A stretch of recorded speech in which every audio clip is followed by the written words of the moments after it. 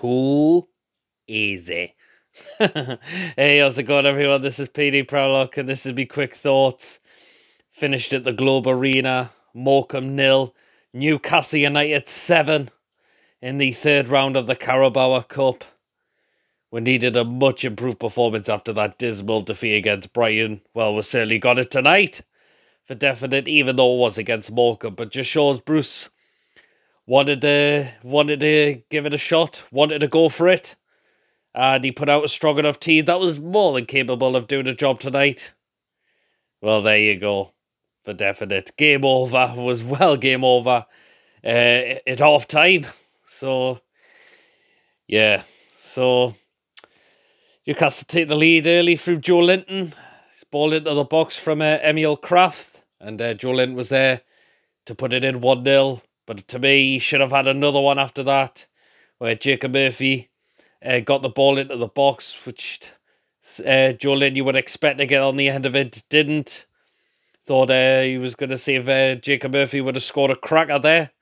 Went off the post, that one. Yeah, for that one. So, yeah.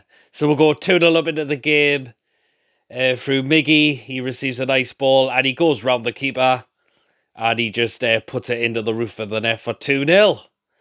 And then Newcastle go 3 0 up into the game, which was an absolute screamer from Jacob Murphy, who had an absolute fantastic game tonight.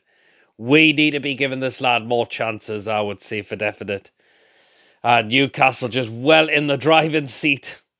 And then Newcastle go 4 0 up through Joelinton, who scored an absolute scream outside the box as well. Keeper no chance.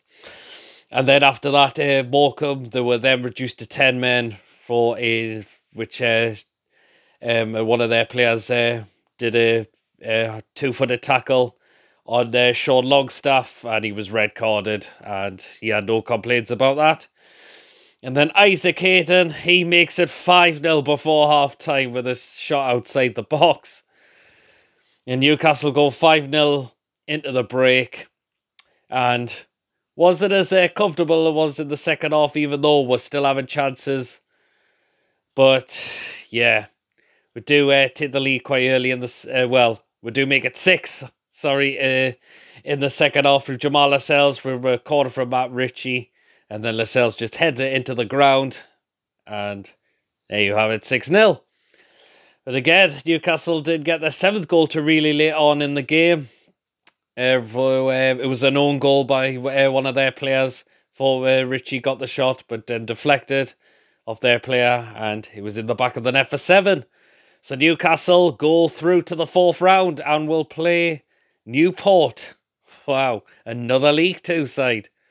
But I'm just delighted we needed a much improved performance after that dismal defeat against Brighton.